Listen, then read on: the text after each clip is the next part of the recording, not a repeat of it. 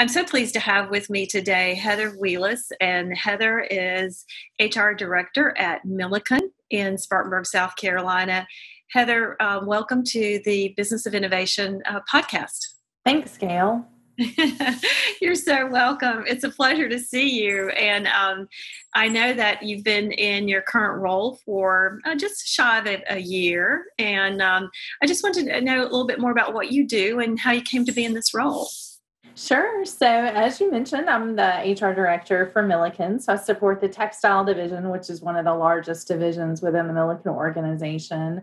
Um, in my particular role, I support the business side. So, I really help and, and support individuals who who run, let's say, um, the sales roles, so sales team, product development, um, and a lot of the shared services group, which which is a pretty decent size of the organization. Mm-hmm. Um, I came to be to Milliken. Actually, it was by accident.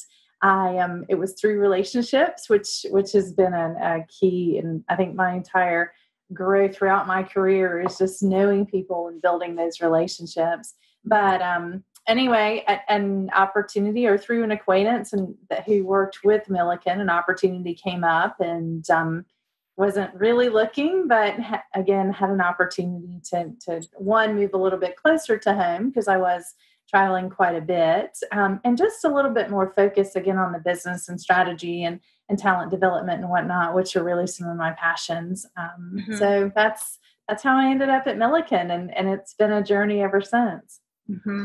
Roger uh, Milliken is known for being highly innovative. Mm-hmm. And I think even the foundation that's been laid in the state of South Carolina being an international center uh, with so many foreign uh, uh headquarters here, uh, many, many, and most people point back to Roger Milliken because he started relationships like that, invited foreign uh, businesses to come here, work with his company.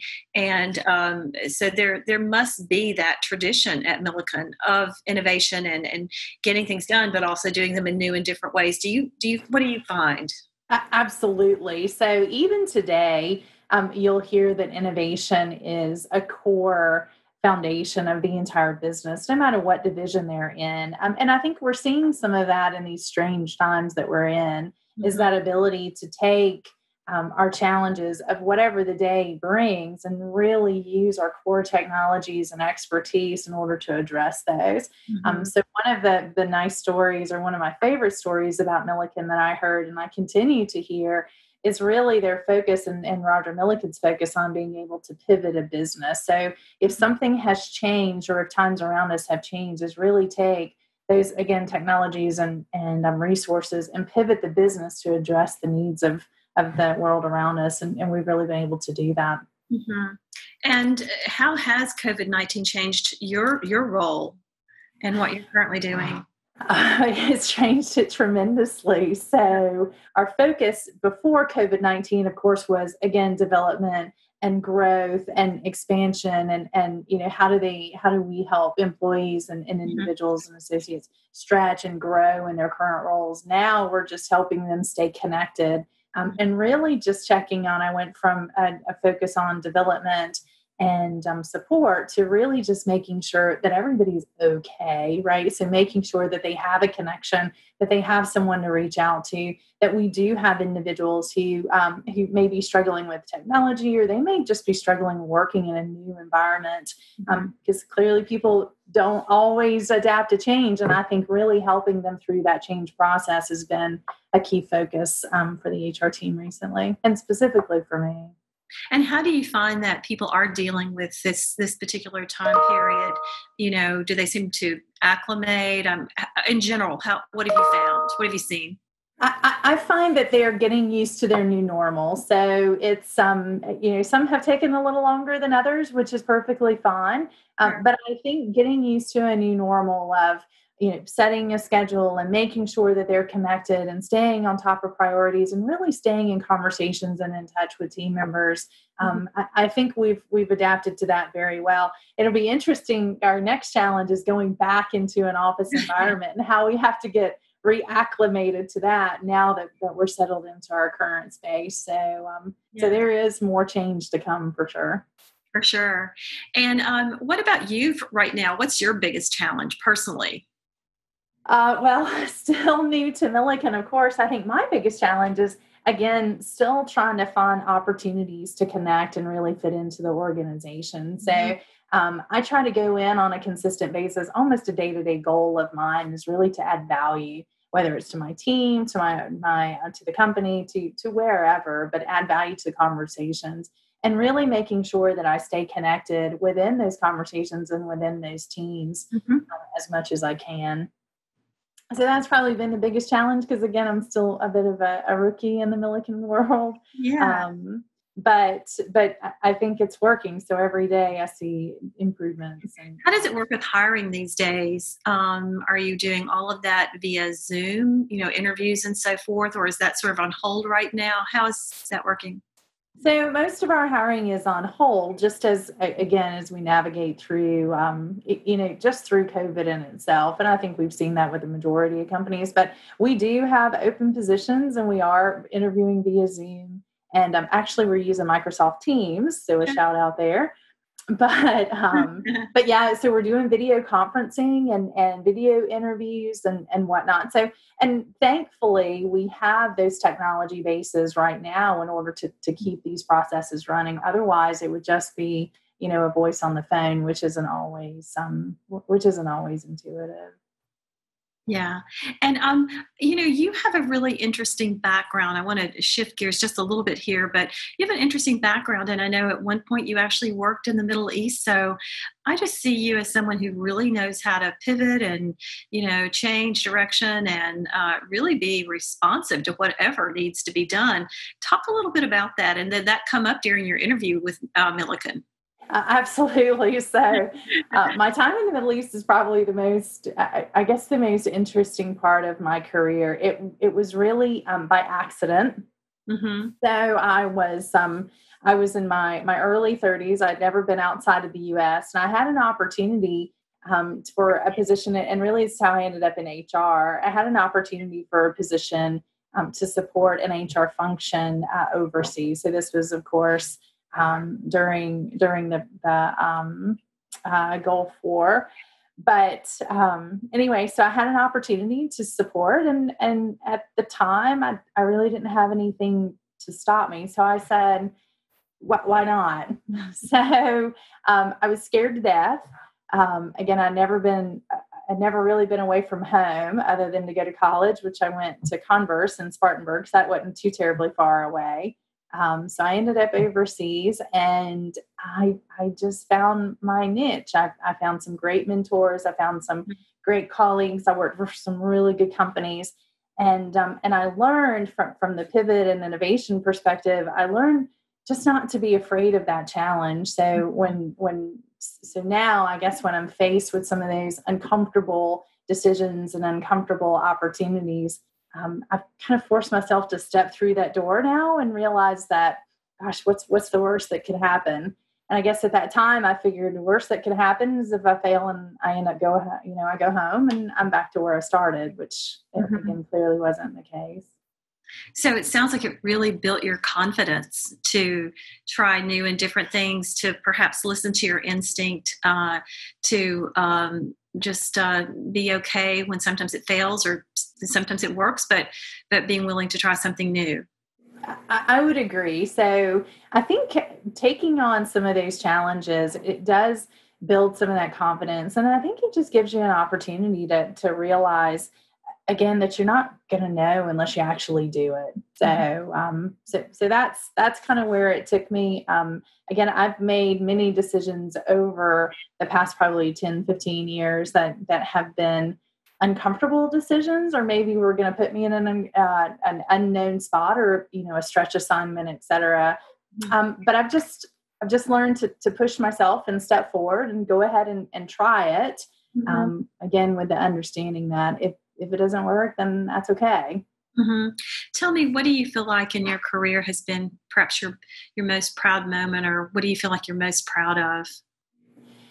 Um, pro- probably that actually. So again, I, I, was I was a bit of a homegirl, so I've I've always lived in the upstate. Um, again, I never traveled out of the country, and I surely never traveled by myself. Mm-hmm. So um, to go, I think, into that environment alone and with complete unknowns and find an opportunity or really take advantage of opportunities to where I, I could grow and I could learn and I could be exposed to mm-hmm. other cultures and other um, other you know thoughts, just just schools of thought, um, mm-hmm. and really grow that into a very successful career is probably probably the the pinnacle of of mm-hmm. you know my career so far. So I'm really proud of that. Absolutely. And you said something else that uh, interested me. You said, whatever I'm doing, I'm tr- always trying to add value. Uh, where did that come from? Is that kind of uh, something you grew up with? Is that where did that come from? That extra, trying to do something just a little extra to make it a little better, or see other ways, new ways, new um, new ways to make it better.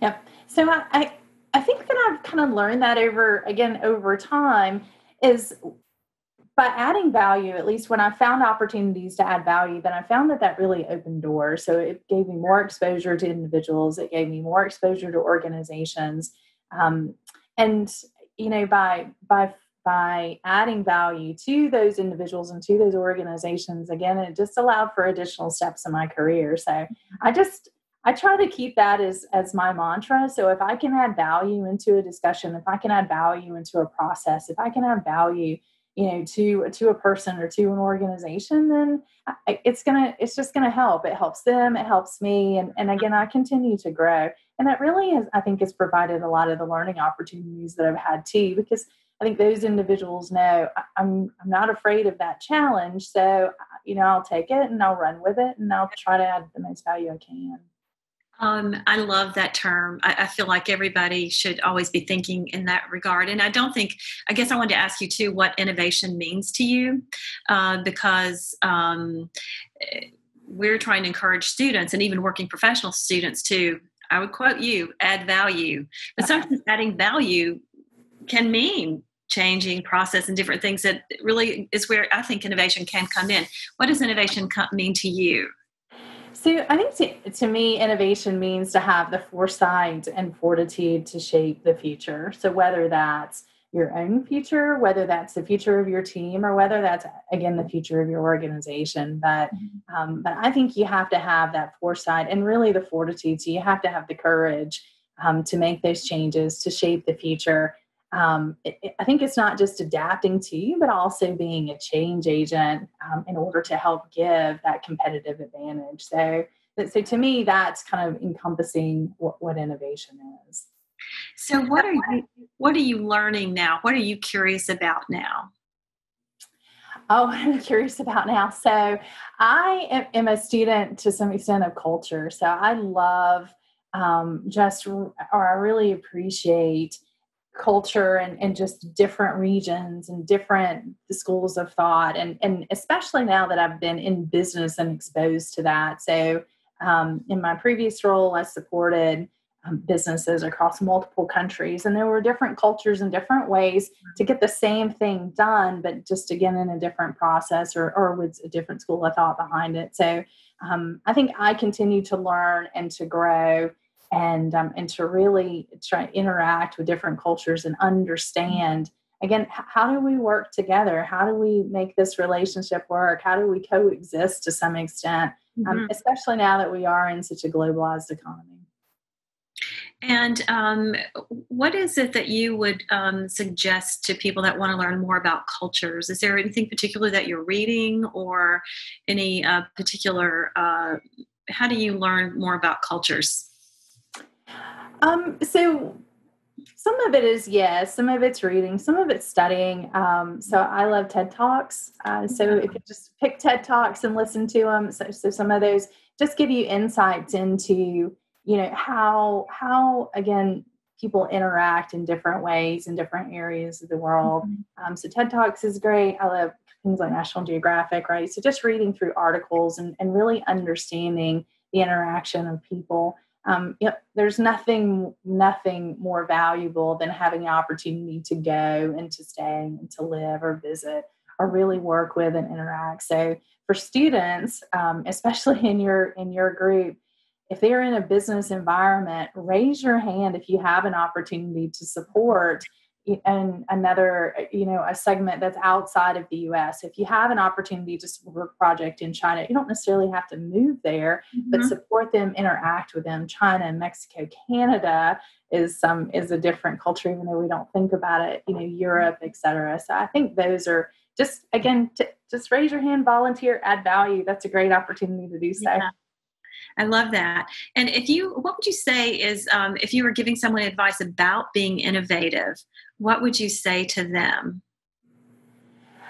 Um, I think the biggest piece to that one is um, don't be afraid to fail. So if you if you want to be innovative, look at what you have in front of you and think, how can we do this differently? Does it make sense what we're doing today? Will what we're doing today get us to our goals tomorrow? Mm-hmm. Um, and again, I think it's it's try and learn how to how to look around the corners. Find a mentor who you feel is mm-hmm. an innovator or has some of that innovative or disruptive thinking, um, and really listen to them. Really coach or be coached by them. Um, and it doesn't have to be one. I mean, find multiple. Mm-hmm. I think that's how you learn because you know you don't get stuck in your same mental thought um, and you're not necessarily learning from the same person over and over. Um, sure. But I think that's the biggest piece. What um, and, and, it may be too soon to ask you these questions, but what are some of the biggest challenges facing Milliken in terms of moving forward, um, specifically in the areas of innovation? Yeah. It's the unknown. I mean, I, I think it's the it's really not knowing what the future brings, and I think it's not just Milliken. I mean, it's any organization right now, to be mm-hmm. honest.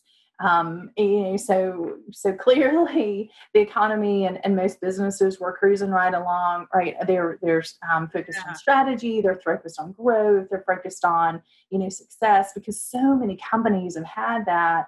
And then overnight, almost, you know, just the train stopped. And and again, I think this isn't just Milliken. This is I think any organization that I've spoken to, whether it's universities that I've, I've listened to, whether it's museums, um, whether it's manufacturing, it's really understanding what's coming at us, and of course reprioritizing. Um, mm-hmm. you know where to, to where to focus your time. Well, and I think you know, I think that's too when it really it, it really helps then when you have those people like we were talking about earlier who are are wearing that add value hat because they want to say, okay, what now? You know, what can we do now? So um, that kind of growth mindset which is, I think, what you were describing, uh, which should really serve you well as you are entering this company and beginning to kind of, you know, really get a strong sense of who all the players are and, and so forth. Uh, your willingness to grow and learn and add value um, will absolutely serve you well. And I know that's kind of the position that you're in right now. And I mean, you're in a pretty key role as you try to get your your head around everything. Is that kind of how it feels? Feels like it, yes. um, you know, and it's a very scary time. I mean, you, uh, whether it's personally, whether it's professionally, you, you, just don't know what's coming at you. And I think um, really supporting individuals and organizations to help them understand, look, yes, that this we're all we're all in this together. We all have the same challenges, but again, helping them go over or get over that mental block of that this isn't the worst case. This is it's not great now, but mm-hmm. this isn't the end. And so it's yeah. going to be better. We will get through this. It just takes a bit of fortitude and it takes a bit of perseverance to do that. Yeah. And um, uh, I'm sure, you know, also, um, how are you, how do you capture innovation at Milliken? Do you know kind of if there are some processes in place that help people kind of share ideas or, um, okay, soon to be soon to be seen, I guess. Yeah. I'm, yeah. I'm sure they have their own ways. I'm sure they do. So again, new to the organization. Um, so I, you know, Milliken again is a, a thought leader. Um, they, yeah. they have a tremendous amount of of um, of focus on and attention to technology and development and whatnot. I mean, some very very intelligent individuals who are experts in their field, um, worldwide experts in their field, huh consistently pushing the boundaries of you know what's next? What what else can we do again to add value to the world around us? Um, and you see that in in some of our sustainability goals. You see that in our ethics goals. I mean mm-hmm. so all of our corporate publicly um, all of our public corporate goals I, I think support that strong innovation yeah I just, saw that um, one of Milliken named one of the most ethical companies, uh, I guess, in the world or in the U.S. for sure. Um, so that's uh, that's a pretty strong uh, accolade. Multiple years running. So um, it, it's been. I think they're the only one who's been on the list ever since that award has has been created, which is tremendous. I mean, it's it's not something that Milliken takes lightly. It's something that we strive for on a consistent basis. And honestly, one of the reasons why um, I decided to join the organization because they do have a focus on ethics and again sustainability goals mm-hmm. um, and and really empower to to um, influence the world around them and the community but the world around them biggest surprise coming to milliken what would it be? Is it is really how how private the organization is. Um, so I, I made the comment in my interview um, with with the team. You know, I went to Converse, and and you have this big, beautiful building, and again, you hear Milliken all over the upstate, but you really don't know what they do other than a textile organization. You don't realize again that they are a thought leader, and they are a tremendous innovator, and they are a big um, environmental and community support. Um, and I think that's been the biggest surprise is is really how impactful Milliken is to the community and then the world around us. I, I think, and that's been a very pleasant surprise. Yeah, yeah, absolutely, definitely thought leader um, from from way back. Um, uh, so, what are what are you um, looking to? Um, maybe what is the best advice you've ever received?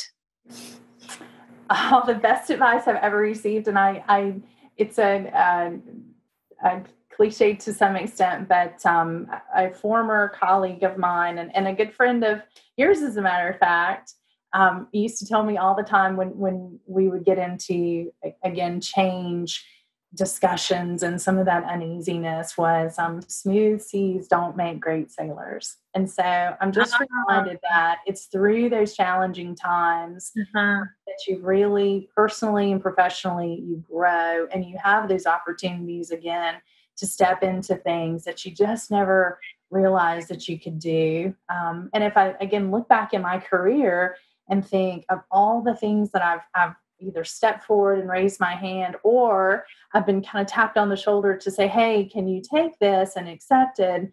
They were all uncomfortable. And by the time I got through it, I was so much better of a person and professionally than I ever imagined.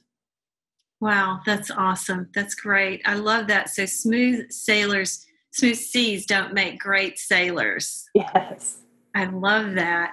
Um, so, what are you curious about now? What are you learning?